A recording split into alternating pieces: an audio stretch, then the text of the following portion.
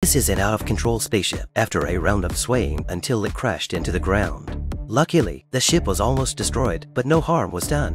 While Lisa was complaining, Jack saw a shocking scene. It turned out that they were really in the center of the Earth. Not only is the environment beautiful, but there is also a small sun. Lucy hurriedly took out the map and started to look for the direction of the infinite energy source. But since there is no network in the center of the Earth, the Godfather's iPhone compass is also ineffective. Luckily, Sean had his cell phone with him, and Lucy took it with confidence. Sean told Lucy that the cell phone had survived the war and was very sturdy. Lucy was able to find the compass function in the cell phone. With the guides of the compass, they found their way to the Holy See. The Last Supper was being held in the Holy City.